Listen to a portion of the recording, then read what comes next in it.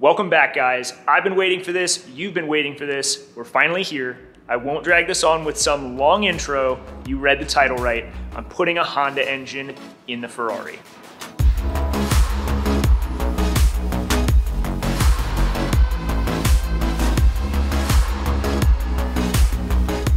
So I'm sure tons of you guys are stoked to see this and thrilled to ride this out, probably just as many are groaning and upset beyond belief, wondering what on earth I'm doing here. But that's kind of half the fun, I'm not gonna lie. And this build's not gonna get any less controversial as we go forth. So this is your warning. If you don't like this, bail out now. But if you do, be sure to subscribe, leave a comment, leave a like, that kind of stuff really helps me as a content creator, and I really appreciate those of you that do. With that out of the way, let's talk engines. Some of you guys guessed this from the get-go, which really isn't all that surprising, especially once Amir made an appearance. His NSX Time Attack race car sports a turbo K20. So this is not far off base, and he's definitely been an inspiration for where we're going with this. I'm sure a ton of you guys though are wondering, why on earth are you putting a Honda engine in a Ferrari? This is insane. This is a terrible idea. Why would you do this? And I and I get it. I, I understand some of you want to see a, a, an engine with a prancing horse on it, or you want to see a big displacement V8, or maybe an inline six, something from BMW. What's going on here? Before that though, let's talk about the original numbers from the original Ferrari F106 V8. So the F106 only sports 202 horsepower from the factory. I was wrong before when I said that it had 205. 202 horsepower and 179 pound-feet of torque from a 2.9 liter V8. A 2.9 liter V8 that weighs over 600 pounds. That is with the transaxle, but it doesn't include any engine accessories. And if we add those in, we're talking about over 850 pounds of drivetrain weight. It's absurd. It's completely ridiculous.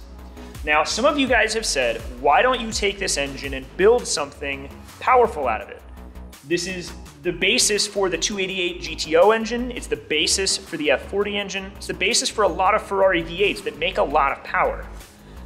Making that kind of power though costs a lot of money. I might have a Ferrari, but I don't have that kind of budget. It also brings into question reliability. I'm sure that reliability is possible with these engines, but I don't know anything about them. I don't know anybody that does. And I also, again, don't want to spend the money that it will take to do it correctly. We're not here to do things, you know, half-assed or, or part way. I want to build a really good car here, and I just don't think that this engine fits that bill very well. And the last part of that is because of cost. We've already established engines like this sell for over $10,000. And that budget alone will pay for an entire build on a K-Series engine. This thing, it's not sticking around. The K-Series though, let's talk about it for a minute. This thing is a K24A2 from an Acura TSX. It makes 205 horsepower compared to the Ferrari's 202, and it does so with half a liter less displacement, so it is smaller, physically and internally. Now, that power level is stock for stock, and we're gonna go way beyond that with the help of a turbocharger and water to air intercooling. That's gonna well over double our power figure while adding relatively minimal weight and when we're talking about weight, this engine, given the fact that it does have an exhaust manifold, an intake manifold, all of the engine accessories, a power steering pump, and a complete wiring harness on it, none of which the Ferrari engine have on them at the moment, weighs only 309 pounds. If we add in a transaxle, that's maybe good for 80 pounds, 400 pounds on the nose, give or take. That's less than half of the drivetrain weight of the Ferrari lump. We're taking good steps here in the right direction. This thing makes sense, I promise. This is gonna be good. So let's also talk engine layout because that's really important too. The engine that came out of the Ferrari is set up in what's called a transverse orientation, which means that the crankshaft runs perpendicular to the direction of travel for the car. That's really common on front wheel drive vehicles. If you pop the hood on a Honda, you'll see that the engine's sitting in the engine bay sideways in contrast to how it might look if you pop the hood on something like a Camaro. On rear wheel drive cars, the engine runs fore and aft, and that makes it easy to transmit power from the transmission to the back of the car. Most modern Ferraris are set up with a longitudinal fore and aft engine layout, but there are some old ones, such as this car, as well as some old Lamborghinis, and even the Acura NSX that are laid out like this. If you're connecting the dots, you're gonna realize why this engine swap's starting to make a lot of sense from a practicality standpoint. This car is laid out as though it's a front wheel drive car, but with the engine in the back. That is exactly what we're going to do. The engine and transmission package from the Acura TSX are going to drop in and fit into this car with minimal modifications needed. It's gonna minimize the amount of custom work that we're gonna have to do and the custom parts that we're gonna have to have built. And that's gonna keep this thing cheaper to operate and easier to maintain. If I break something out at the track, I'm gonna be able to find parts for it easier because a lot of the parts that are gonna make this car go down the road will in fact be Honda and Acura parts being able to fit the engine into this engine bay and not have to cut the entire back of the car to pieces and find something like a completely custom transaxle solution just to run a longitudinal engine is gonna be a great benefit. So it's another reason why I've chosen to go with the Honda K24. So that touches on reliability too.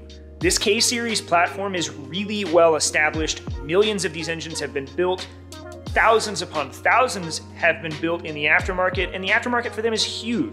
Guys make gobs of power with these things, and all of the information needed about them is readily accessible.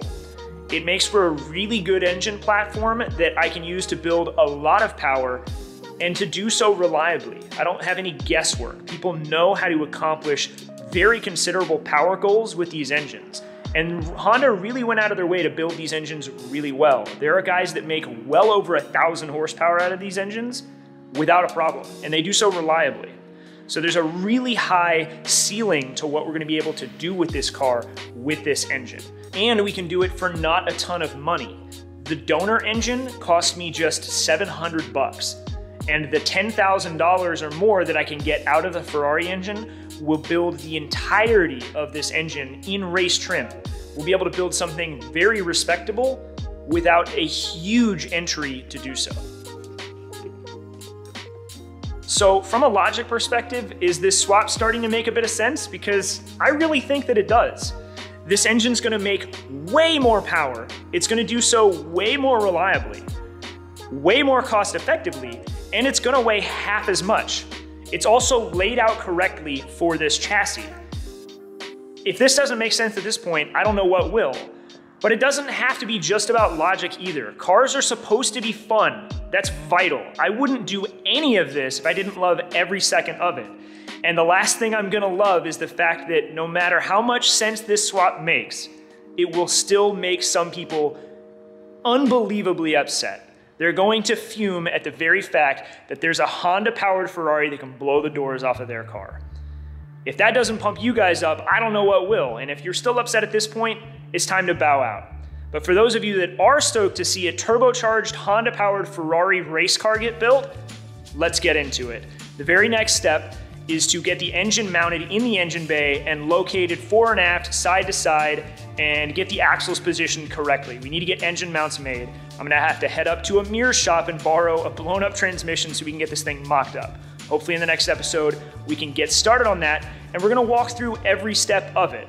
I'm really excited to be putting this build together with you guys and have you guys involved in this. And if you guys are stoked so far, so am I. I will catch you guys next week. Thank you again for watching. Thank you for the support. This build is only gonna get crazier from here on out.